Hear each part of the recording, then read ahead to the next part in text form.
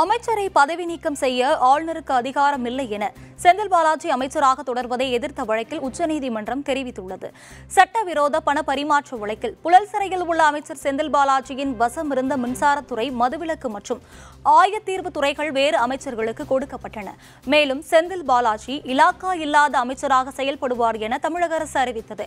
இதையடுத்து செந்தில் பாலாஜியை அமைச்சர் பதவியிலிருந்து நீக்கி ஆளுநர் ஆர் என் ரவி உத்தரவு பிறப்பித்த நிலையில் விமர்சனங்கள் எழுந்ததை இதையடுத்து அந்த உத்தரவை நிறுத்தி வைத்தார். இதன் பின்னர் செந்தில் பாலாஜி அமைச்சராக தொடர்வதை எதிர்த்து சென்னை உயர்நீதிமன்றத்தில் வழக்கு தொடரப்பட்டது. இது தொடர்பாக முதலமைச்சர் தான் முடிவு எடுக்க வேண்டும் என கூறி வழக்கை முடித்து வைத்ததால் இதை எதிர்த்து வழக்கறிஞர் எம். எல். ரவி உச்சநீதிமன்றத்தில் மேல்முறையீட்டு மனு தாக்கல் செய்தார்.